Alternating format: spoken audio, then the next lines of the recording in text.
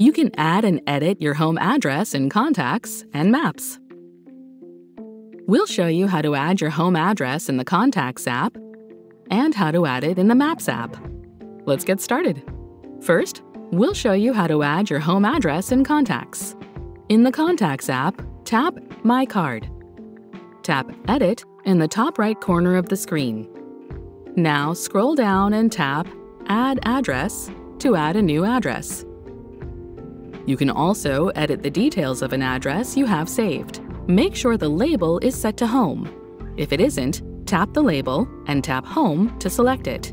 Then, fill out your home address information.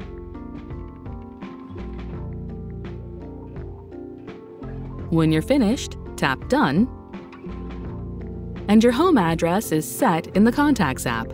Now we'll show you how to add your home address in Maps.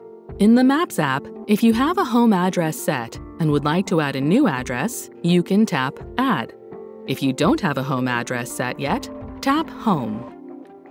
Begin to enter your home address, then tap your address when it appears in the list below.